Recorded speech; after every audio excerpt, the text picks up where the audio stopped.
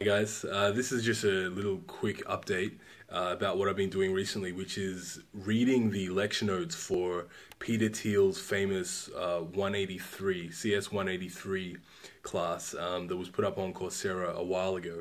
It, I'm currently reading it on a website called blakemasters.com. This uh, student, Blake Masters, has put up all of his lecture notes uh, on his website, which I'll put a link up to. And it's a, an amazing resource. Peter Thiel, if you're not aware, was one of the founders of PayPal uh, and is now a, a, um, a venture capitalist with Founders Fund. For anybody doing lean startup or if you want to start your own business, I couldn't recommend this highly enough. Um, every individual lecture note is full of gold, and it's something that I think you'll keep coming back to.